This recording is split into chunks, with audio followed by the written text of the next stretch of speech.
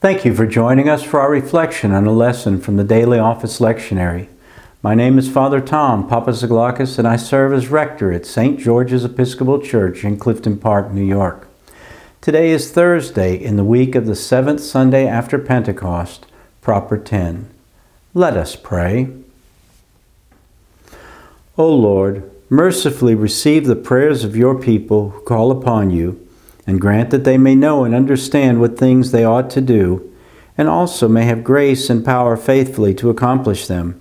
Through Jesus Christ our Lord, who lives and reigns with you and the Holy Spirit, one God, now and forever. Amen.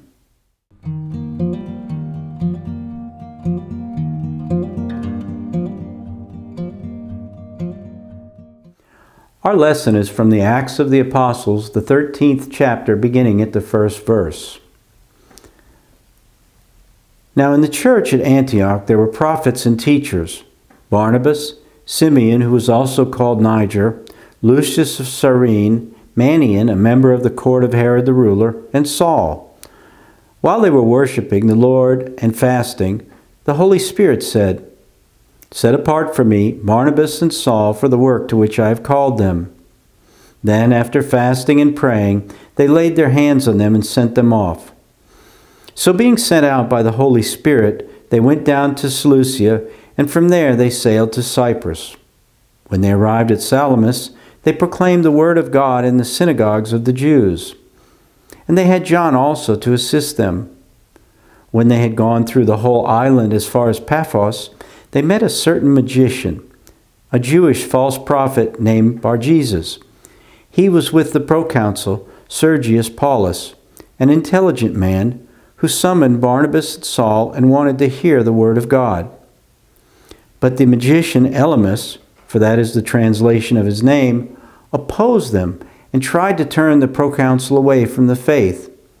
But Saul, also known as Paul, filled with the Holy Spirit, looked intently at him and said, You son of the devil, you enemy of all righteousness, full of all deceit and villainy, will you not stop making crooked the straight paths of the Lord? And now listen, the hand of the Lord is against you, and you will be blind for a while, unable to see the sun.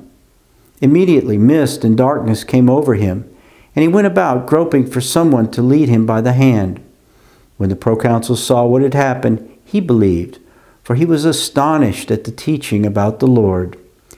Here ends the lesson. Our lesson today is rich in messages that could be missed by a casual reading. It begins with the commissioning of Saul and Barnabas after a period of fasting and prayers with the prophets and teachers from the Antiochian community. Barnabas and Saul had been active members of that community, teaching, worshiping, fasting, and praying prior to being commissioned and sent out. The Holy Spirit confirmed this commissioning, calling for Barnabas and Saul to be sent out in accordance with God's will and purpose. After having hands laid on them in prayers, Saul and Barnabas sailed off to preach the gospel in the synagogues at Salamis. We should not be surprised that immediately after they preached the good news, the forces of evil or demonic powers confronted them. That is the nature of spiritual warfare.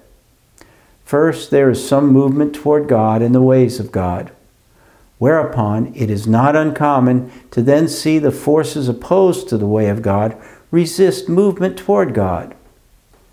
Satan will oppose our efforts. That is what happened to Jesus after his baptism when Satan in the wilderness confronted him. It also happened to Peter after the Holy Spirit descended on the twelve, when Satan, working through Ananias and Sapphira, tried to deceive Peter and the disciples by withholding proceeds from the sale of their property. This validates Saul's, who is now called Paul's, legitimacy as a prophet and apostolic leader in the line of Jesus and Peter. It was by overcoming the forces of evil through the power of the Holy Spirit that the gospel continued to bear fruit as it spread to new and expanded territories. Another exciting message in this lesson is the Roman authorities' engagement with the gospel as the proconsul saw what happened and believed. Let us pray.